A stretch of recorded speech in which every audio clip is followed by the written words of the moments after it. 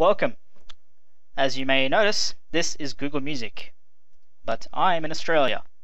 Google Music is not yet available in Australia. So how the hell did I get it? Well, I used VPN and a program called TunnelBear. So if we go to TunnelBear, oh,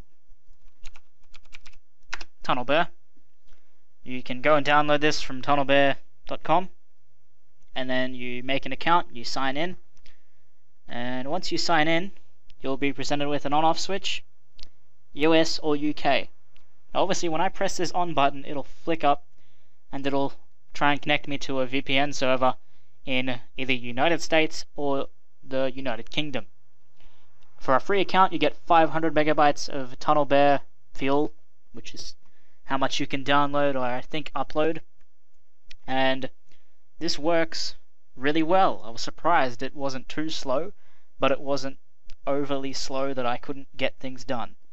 So what basically what I just did is normally if you went to internet and if you went to music.google.com you would be presented with a web page saying that you are not in America or you're not in the select territories that Google Music is available.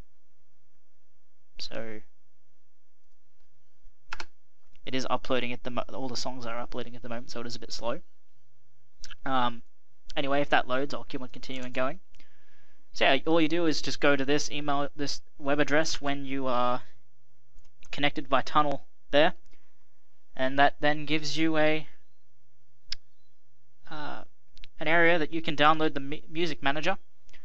And then the music manager is, is it, this little thing here, and you just says add a folder, find where all your music is, uh, log in, and then your songs will automatically upload to here.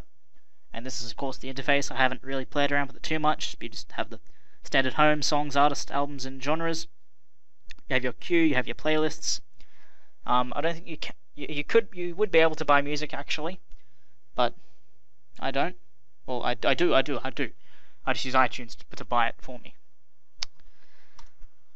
So, like I said, VPN it gives you access to Google Music. It's as simple as that. And then, of course, you can go and download the Google Music app. Google Music app for Android, Google Play Music, and you go ahead and download that and log in with your Google account. And that is how you get 20,000 songs for free to be uploaded to Google Music in Australia or really any other country. So thank you for watching this how-to video. If you enjoyed this video, please don't forget to subscribe to Todd's Tech Tips for more reviews, unboxings, and other computer videos.